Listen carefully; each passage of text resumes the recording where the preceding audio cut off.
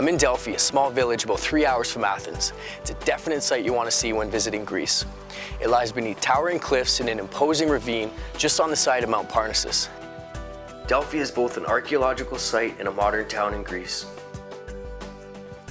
The ancients believed Delphi was the center of the world, the site of the Apollo stone.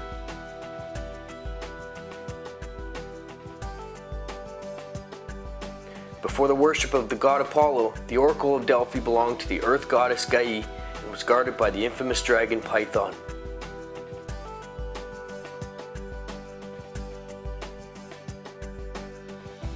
For Apollo to take over Delphi, he had to fight and defeat Python.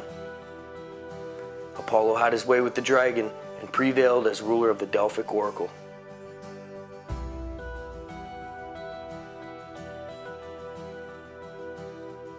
Lower into the ravine, the sanctuary of Athena is found. These Doric columns have been restored, making it one of the most popular sites in Delphi for tourists to take pictures.